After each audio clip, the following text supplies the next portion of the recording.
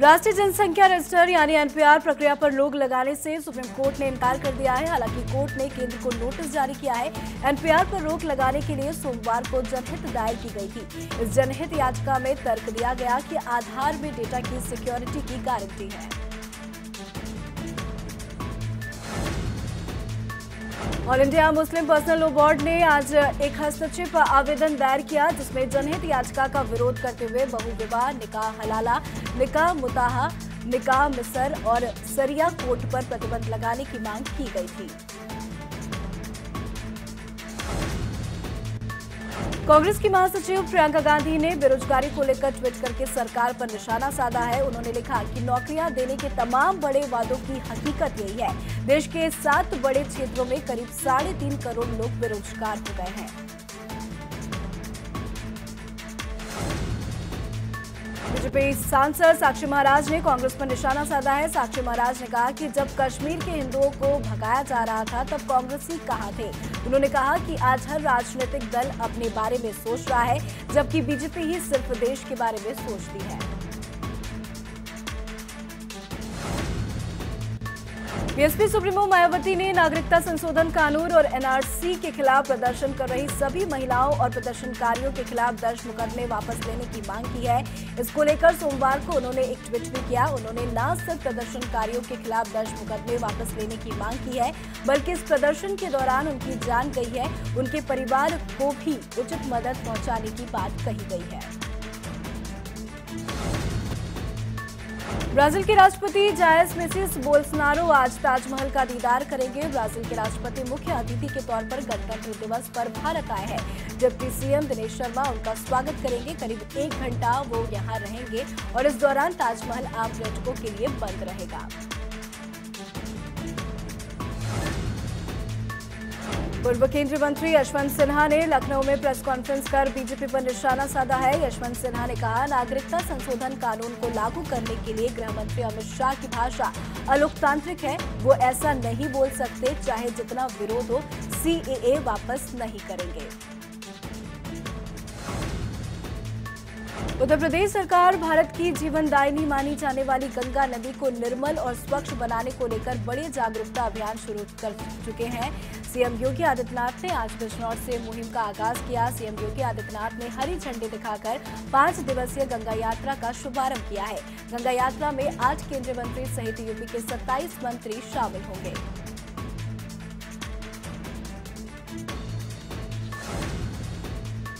नमामि गंगे योजना के तहत महत्वाकांक्षी गंगा यात्रा बलिया से शुरू हुई। यूपी की राज्यपाल आनंदीबेन पटेल गोपालपुर गंगा घाट पहुँची और गंगा पूजन किया।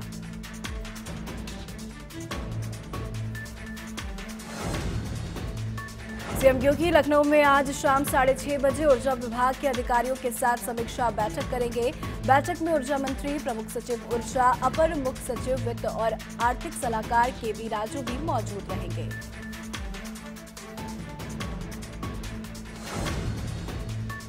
गोरखपुर में सीएम योगी ने जनता दरबार लगाया। इस दौरान उन्होंने लोगों की फरियाद भी सुनी और अधिकारियों को तुरंत समस्या का समाधान का आदेश दिया है।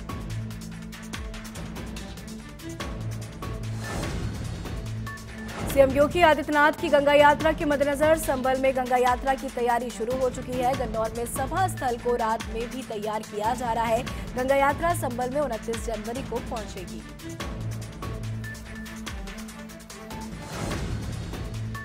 सीएम त्रिवेंद्र सिंह रावत ने उत्तराखंड में स्वच्छता सर्वेक्षण को लेकर जनता से अपील की है। सीएम त्रिवेंद्र ने साफ़ कहा है कि प्रदेश की जनता और खास तौर पर देहरादून की जनता को इस अभियान में सक्रिय भागीदारी निभानी चाहिए।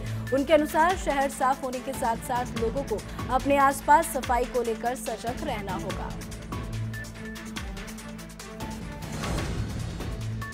देहरादून में चल रहे ट्रैफ़िक प्लान से न केवल जनता, बल्कि व्यापारियों को भी परेशानियाँ हो रही हैं। ऐसे में कांग्रेस ने भी पुलिस के ट्रैफ़िक प्लान के खिलाफ आवाज़ बुलंद कर ली है। कांग्रेस महानगर अध्यक्ष लालचंद्र शर्मा ने साफ़ कहा कि पुलिस ने जो ट्रैफ़िक प्लान प्रमुख चौराहों पर लागू किया है, वो गलत है।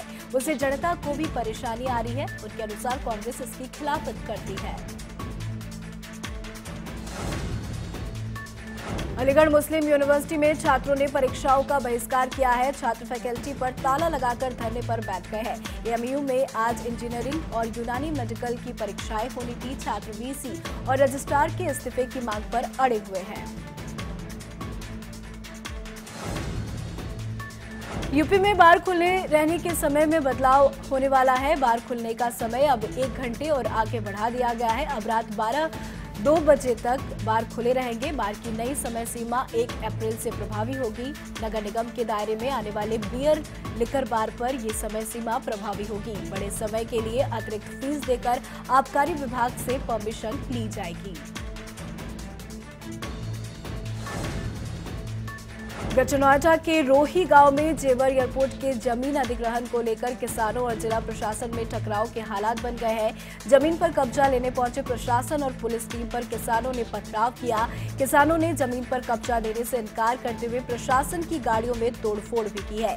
पथराव में कई लोगों के घायल होने की खबर भी सामने आ रही है। सीतापुर में जहरीली शराब से एक युवक की मौत का मामला सामने आया है। मामला इमलिया सुल्तानपुर थाना क्षेत्र का है, जहाँ जहरीली शराब पीने से एक युवक की मौत हो गई। वहीं एक युवक की हालत गंभीर बनी हुई है। परिजनों ने उसकी हालत गंभीर देखते हुए उसे जिला अस्पताल में भर्ती कराया है। डॉक्टरों ने उसकी हालत चिंताजनक बताई है। पुलिस मामले की जाँच लगातार कर रही है। सुप्रीम कोर्ट की रोक लगाने के बावजूद मांगलिक समारोह में हर्ष फायरिंग की घटनाएँ रुकने का नाम नहीं ले रही। ताज़ा मामला सीतापुर के खैराबाद इलाके का है, जहाँ तिलक समारोह की खुशियाँ मातम में तब्दील हो गई। यहाँ तिलक समारोह के दौरान डीजे पर तमंचे पर डिस्को गाना बजते ही एक युवक ने लाइसेंसी पिस्तौल से ताबड़तोड़ फायरिंग शुरू कर दी। इस फायरिंग के दौरान एक युवक की मौत हो गई। रामपुर के गाँव में कुएँ से दो युवकों के शव मिलने से सनसनी फैल गई है। परिजनों ने हत्या कर शव कुएँ में डालने की आशंका जताई है। जानकारी के मुताबिक दोनों युवक दो दिनों से लापता थे। सूचना मिलने पर पहुँची पुलिस ने शवों को पोस्टमार्टम के लिए भेज दिया है।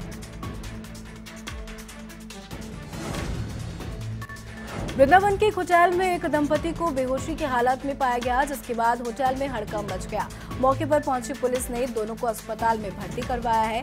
महिला को मृत घोषित कर दिया गया है। बताया जा रहा है कि दोनों ने जहर खाकर आत्महत्या का प्रयास किया था।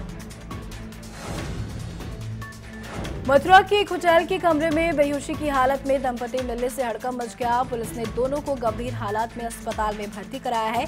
इस दौरान महिला की इलाज के दौरान मौत हो गई, जबकि पुरुष की हालात नाजुक बताई जा रही है।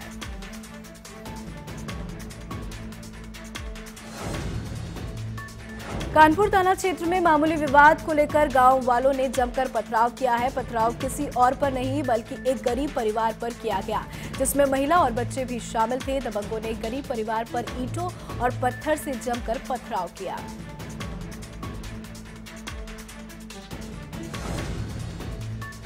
कोर्ट में शादी करने के बाद कई महीनों तक भागे भागे फिर रहे प्रेमी युगल की कानपुर पुलिस ने शादी करवा दी है। पुलिस ने दोनों के परिजनों को बुलाकर समझाया और रजामंदी के बाद मंदिर में शादी करा दी। नव दंपति को पुलिस के साथ परिजनों ने भी आशीर्वाद दिया। लखीमपुर, खीरी के नौरंगाबाद मोहल्ले में घरेलू विवाद के चलते एक शख्स ने कुल्हाड़ी से वार कर अपनी पत्नी और भाई की हत्या कर दी। आरोपी ने अपनी माँ पर भी जानलेवा हमला करके घायल कर दिया। हत्या से इलाके में अफरा तफरी का माहौल मच गया है।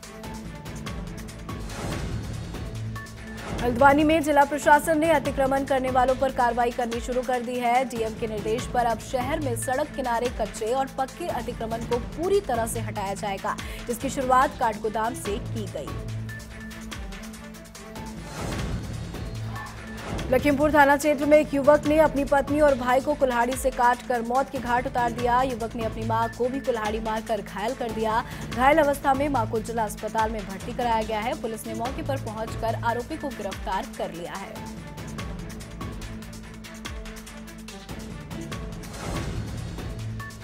रामपुर में पुलिस और बदमाशों के बीच मुठभेड़ में दो बदमाश गोली लगने से घायल हो गए। वहीं पुलिस ने इस मुठभेड़ में तीन बदमाशों को गिरफ़्तार कर लिया है।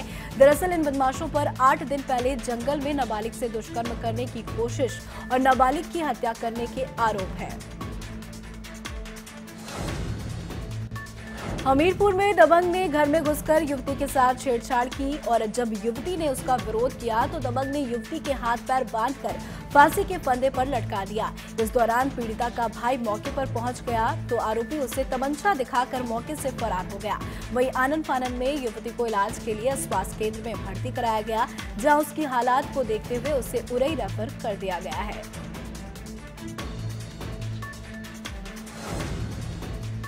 प्रयागराज के रोशनबाग इलाके में नागरिकता संशोधन कानून के विरोध में चल रहे प्रदर्शन स्थल पर एक युवती ने खुद के साथ छेड़खानी और मारपीट का गंभीर आरोप लगाया है। युवती की तहरीर पर खुलदाबाद थाने में दो नामजद सहित पाँच लोगों पर एफआईआर भी दर्ज हो गई है। युवती ने आरोप लगाया है कि प्रदर्शन स्थल पर कुछ महिला सहयोगियों ने उसके साथ मारपीट की और पुलिस सहयोगियों ने उसके साथ बदसलूकी और छेड़खानी भी की है। गरचनौजा में कार और ट्रक की भिड़ंत में इक्यावन वर्षीय दरोगा सौदान सिंह की मौत हो गई है। कार में दरोगा सौदान सिंह के अलावा दो और लोग बैठे थे, जिनकी हालात गंभीर बताई जा रही है। दादरी थाना इलाके के बाईपास पर यह दर्दनाक हादसा हुआ है।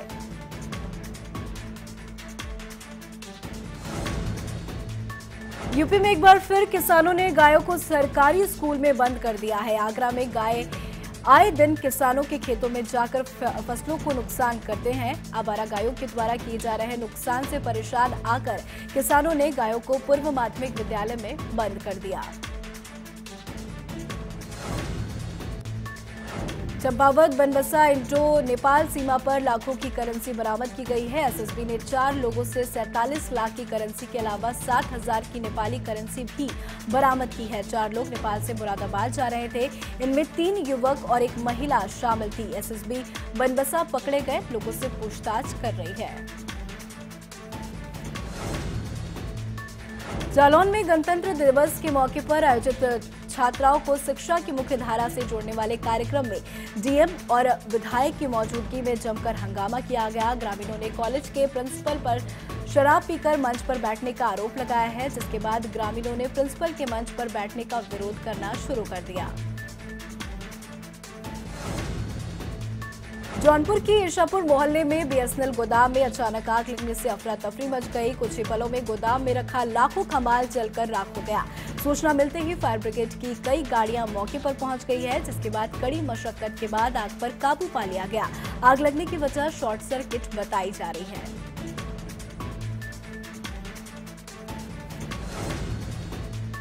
श्रीनगर में ऑल वेदर रोड में अनियोजित तरीकों से कार्य किया जा रहा है, जो अब लोगों पर भारी पड़ने वाला है। श्रीनगर सड़क चौड़ी करने की वजह से आधा दर्जन मकानों को खतरा पैदा हो रहा है।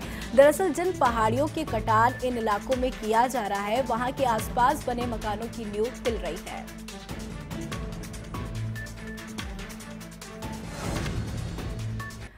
देहरादून के आरटीआई में लगा वाहनों की फाइलों का पहाड़ खत्म करने के लिए विभाग ने इन फाइलों के कंप्यूटरीकरण का कवायद शुरू कर दिया। मौजूदा समय में आरटीओ दफ्तर ने पुराने वाहनों की करीब 10 लाख फाइलें जमा की है और इन्हें कंप्यूटराइज करने के लिए विभाग ने 5 करोड़ रुपए मंजूर कर लिए हैं।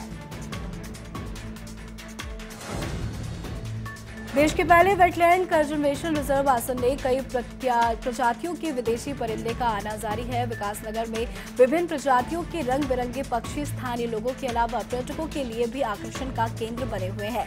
छह महीने के प्रवास पर आने वाले इन मेहमान परिंदों की वन विभाग पक्षी विशेषज्ञों की देखरेख में गणना करता है। इस साल की गणना में साइबेरियन बर्ड्स की संख्या चार हज़ार चार सौ छियासी आकी गई है और करीब 50 प्रजातियों के विदेशी पक्षियों ने यहाँ डेरा डाला हुआ है।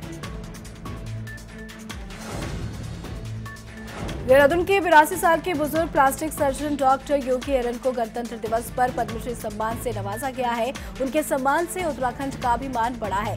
डॉक्टर योगी एरन 14 साल से मानवता की सेवा करने में जुटे हुए हैं। वो अब तक 5000 से ज़्यादा निःशुल्क प्लास्टिक सर्जरी कर चुके हैं। रुद्रप्रयाग के जिलाधिकारी मंगलेश घिंडियाल को राष्ट्रीय पुरस्कार से सम्मानित किया जा रहा है। ई गवर्नेंस के क्षेत्र में 7 फरवरी को मुंबई में केंद्र सरकार डीएम रुद्रप्रयाग को राष्ट्रीय पुरस्कार से सम्मानित करेंगे। देहरादून में मुख्यमंत्री त्रिवेंद्र सिंह रावत के हाथों मुख्यमंत्री उत्कृष्टा और सुशासन पुरस्कार से सम्मानित हो चुके हैं। चमोली के रहने वाले कल्याण सिंह रावत को पद्मश्री से नवाजा गया वो मैती आंदोलन के ज़रिए लोगों को पर्यावरण संरक्षण की अनूठी पहल कर चुके हैं। साथ ही उन्होंने चिपकू आंदोलन के ज़रिए पेड़ों और जंगलों की उपयोगिता का एहसास भी दिलाया था। इसी के साथ इंटर कॉलेज में जीव विज्ञान प्रवक्ता के पद पर रहते हुए कल्याण सिंह ने स्कूली बच्चों की मैती आंदोलन के लिए प्रेरित भी किया था। फिर धीरे धीरे समूचे गाँव के लोगों को प्रेरित करने का कार्य भी किया है।